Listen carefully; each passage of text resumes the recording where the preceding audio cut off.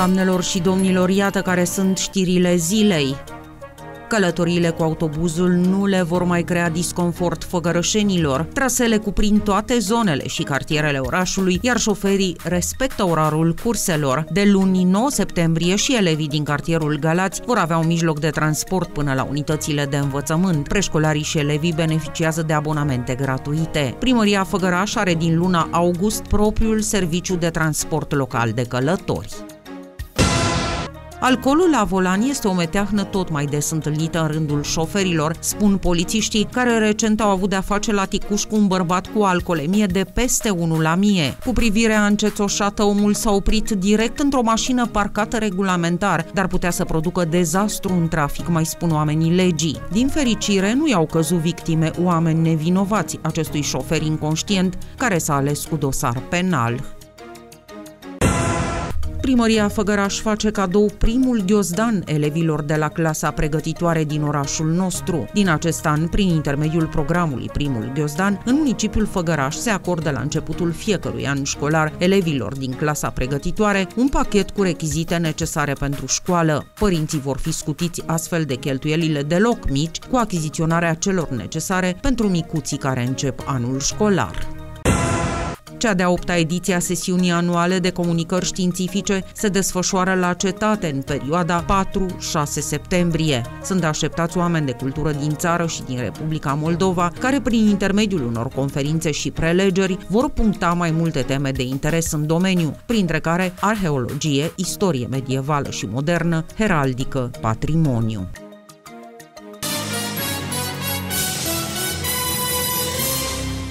Transportul public de călători din Făgăraș a fost de-a lungul anilor o prestare de servicii de proastă calitate, au spus-o chiar făgărășenii. Operatorii care au desfășurat activități de transport și-au bătut joc de oamenii care circulau cu autobuzul. Mai întâi cu mașinile vechi, murdare și rupte și apoi cu nerespectarea orarului călătoriilor. Dar iată că pas cu pas lucrurile se îndreaptă. Primăria Făgăraș a înființat propriul serviciu de transport local de călători, cu autobuze proprii pe trasee gândite în așa fel încât să deservească populația din toate cartierele orașului. De luni 9 septembrie, odată cu începerea școlii, elevii din cartierul Galați vor putea veni la școală cu autobuzul. Traseul va fi traseul al doilea care este, va fi din Galați, uh, centru uh, Teiului, Radu Negru, strada Teiului, 13 decembrie, Aurel Vijoli, poarta principală și retur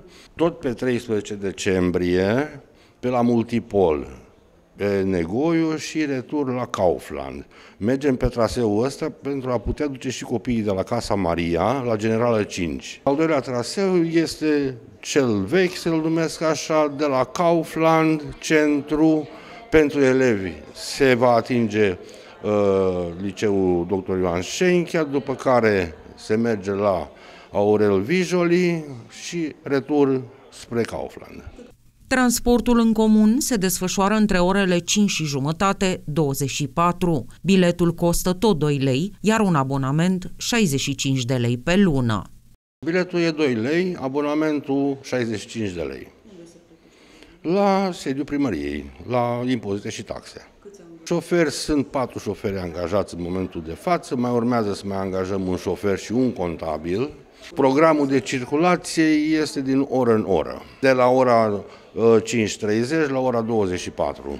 Făgărășenii au șansa să facă economie pentru călătoriile la cumpărături în hipermarketurile din capătul orașului. Autobuzele au un traseu variat și cu siguranță susțin reprezentanții serviciului de transport, oamenii vor vedea ce diferență calitativă este între ce a fost și ceea ce este acum în materie de respectarea orarului, dar și de siguranța în trafic. Municipalitatea a renunțat la serviciile companiei de transport Axitur în urma nemulțumirii făgărășenilor, dar și a faptului că operatorul a cerut ca biletul de călătorie să coste 5 lei.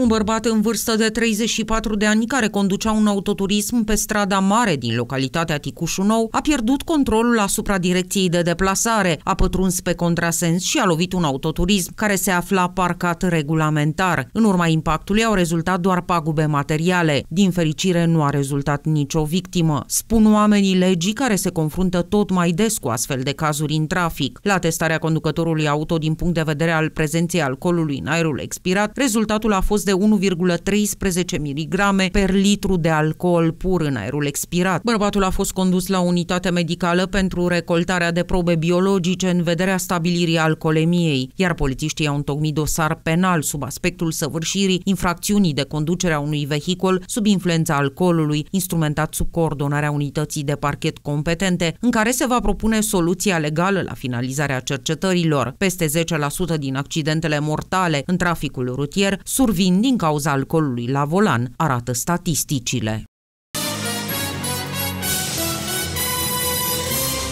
Toți copiii din Făgăraș din clasa 0 vor găsi pe bănci în prima zi de școală ghiozdane de cea mai bună calitate, echipate cu toate rechizitele de care au nevoie. Anunțul a fost făcut de primăria Făgăraș, care menționează că ghiozdanele vin la pachet și cu un penar, creioane, stilo, acoarele, radieră, caiete tip 1, caiete de matematică, dictando, maculatoare, precum și coperți pentru acestea. Astfel, în prima zi de școală, fiecare copil înscris în clasa pregătitoare la oricare școală din Făgăraș va avea pe bancă pachet pachetul cu rechizite. Părinții nu vor mai fi nevoiți să le cumpere celor mici rechizitele necesare în acest an școlar, care nu sunt deloc ieftine. Măsura vine ca urmare a unei hotărâri de Consiliu Local, numărul 390 din 29 noiembrie 2018, privind acordarea pentru anul școlar 2019-2020 a pachetului cu rechizite școlare primul ghiozdan.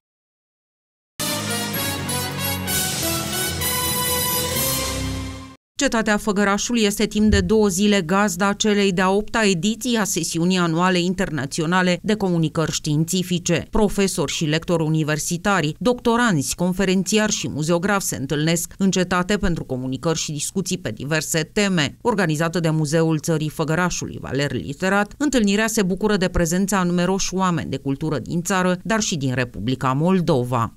Este o nouă manifestare pe care o ținem uh, de 8 ani încoace, cu, bineînțeles, cu cercetători profesori universitari de prestigiu din țară, din Republica Moldova și anul acesta. Uh, se întinde pe două zile, uh, vor fi atât comunicări în plen, dar și alte activități, lansări de carte, vernisaj de expoziții, vizionare de piese de teatru. Încercăm să facem lucrurile să fie cât de cât mult mai plăcute, să nu fie așa stricte, rigide.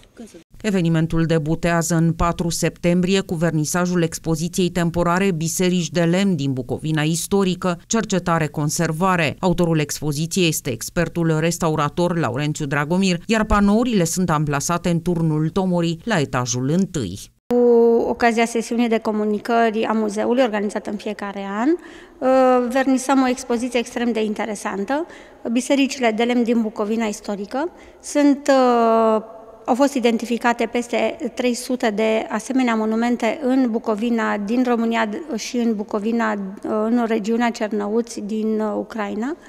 Uh, expoziția a fost uh, finanțată de Consiliul Județean Suceava și este realizată de un restaurator expert, uh, Laurențiu Dragomir, și credem noi că este benefic această expoziție din dorința de a face cunoscut vizitatorilor noștri un patrimoniu extrem de interesat Bucovina fiind cunoscută în special pentru bisericile cu pictură exterioară din patrimoniul UNESCO. Sesiunea de comunicări continuă joi 5 septembrie și vineri 6 septembrie, tot la Cetatea Făgăraș, în sala tronului, în salonul Principelui și în turnul Tomorii, cu conferințe publice, prelegeri și discuții pe teme de arheologie, istorie medievală și modernă, heraldică, patrimoniu. De asemenea, nu lipsesc secțiunile dedicate istoriei contemporane, sociologie și politologie.